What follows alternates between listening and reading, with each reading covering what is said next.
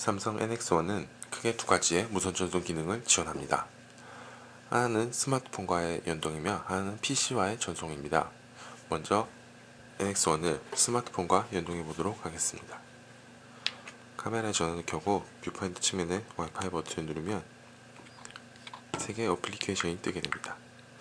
스마트폰에서 사진을 가져오는 Mobile Link, 리모트 컨트롤을 지원하는 Remote Viewfinder, 그리고 촬영한 사진을 즉각적으로 옮길 수 있는 Quick Transfer 기능이 있습니다.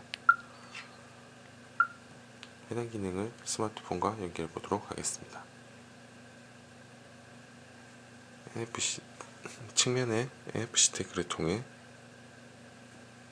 즉각적으로 연결할 수 있습니다.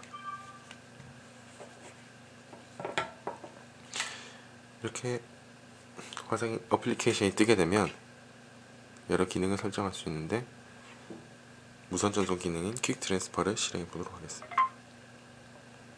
Quick Transfer 기능의 경우 촬영한 사진을 즉각적으로 가져올 수 있으며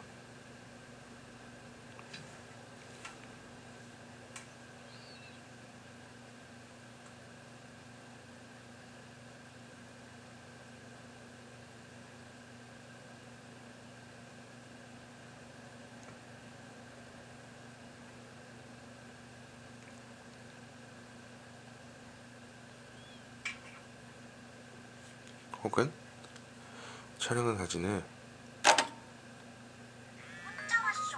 바로 화상을 줄 수 있는 기능 역시 지원합니다.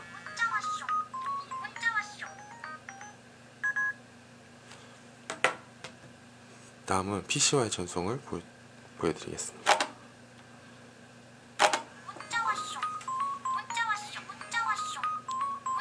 PC와의 전송은 카메라의 재생 메뉴에 들어가서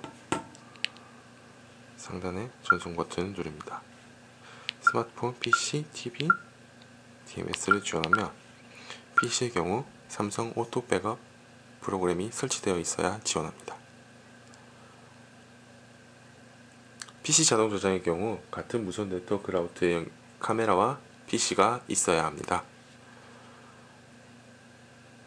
PC 자동 저장에서 확인을 누르고 카메라가 자동으로 와이파이 연결하며 백업 PC로 사진을 저장하게 됩니다.